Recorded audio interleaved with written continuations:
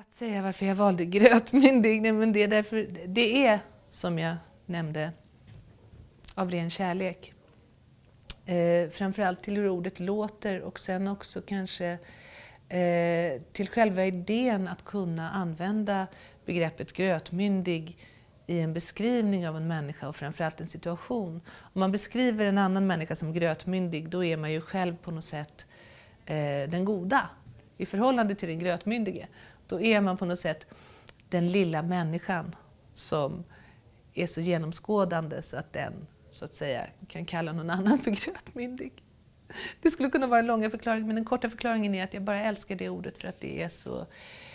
Det är som ehm, stuvade makaroner som har svalnat precis så mycket som man kan köra ner händerna i dem och gojsa. Så det är lite förbjudet.